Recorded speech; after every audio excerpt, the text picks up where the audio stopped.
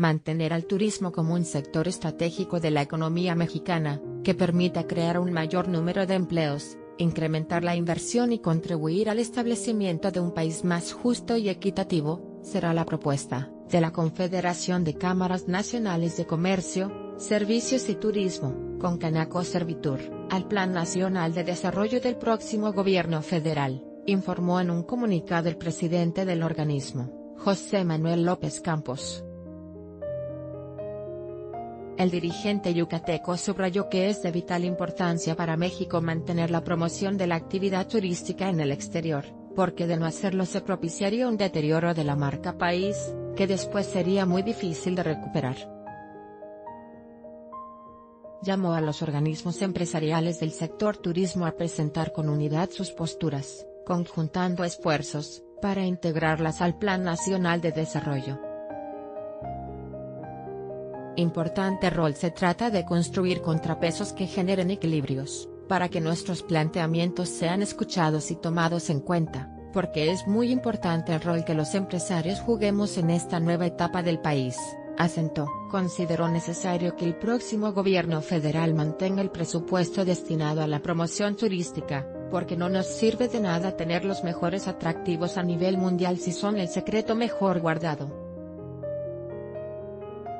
Al hacer una reflexión sobre el Día Mundial del Turismo, que se celebró el pasado 27 de septiembre, puntualizó que México debe emprender acciones para aumentar la captación de visitantes extranjeros, y fortalecer el turismo nacional no solo en número de visitantes, también en derrama económica que es lo que realmente beneficia al país.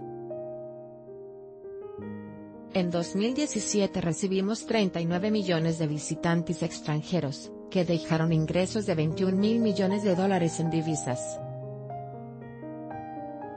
Tendencia al alza Esta tendencia mejoró notoriamente en lo que va del año, pues solo en el lapso de enero a julio ingresaron al país 24 millones de turistas de otras naciones, que generaron ingresos de 13 mil millones de dólares, de acuerdo con cifras de la Secretaría de Turismo por lo cual se prevé rebasar las cifras del año anterior. En los primeros siete meses del año destacó la llegada vía aérea de visitantes de Estados Unidos, que representaron 60.5% del total, en tanto que los procedentes de Canadá, América Latina y el resto del orbe representaron 39.5%. López Campos recordó que, el turismo representa 10% del PIB del país, y genera 10 millones de empleos directos e indirectos, de los cuales 21% son ocupados por jóvenes menores de 25 años, y 57% por mujeres, lo que confirma su carácter inclusivo. Al referirse a la actividad turística, puntualizó que se desarrolla en nichos de mercado especializados, como el de congresos, cultural, religioso, médico, de aventura deportivo, que son representados en Concanaco por líderes en su actividad, mediante comisiones y comités de la Vicepresidencia de Turismo, a cargo de Roberto Zapata Llabres. Con motivo del Día Mundial del Turismo, la Concanaco organizó un cóctel con la presencia de importantes representantes del sector, entre quienes asistieron, Jorge Manos Esparragosa, presidente de la Asociación de Secretarios de Turismo del país, Jorge Hernández, Delgado, presidente de la Asociación Mexicana de Agencias de Viajes, Jorge Ortega González, director general de la Asociación de Ciudades Mexicanas de Patrimonio Mundial, y Armando Bojorques, presidente de la Confederación de Organizaciones Turísticas de América Latina.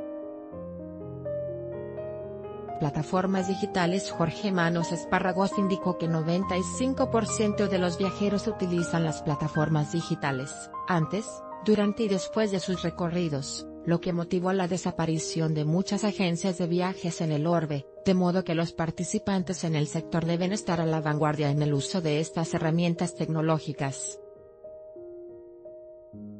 Surav Eristavi, embajador de Georgia en México, también presente en el evento, informó que en los últimos cinco años el turismo se ha convertido en uno de los sectores más importantes de la economía de su país, y en 2017 representó 7% del PIB interno.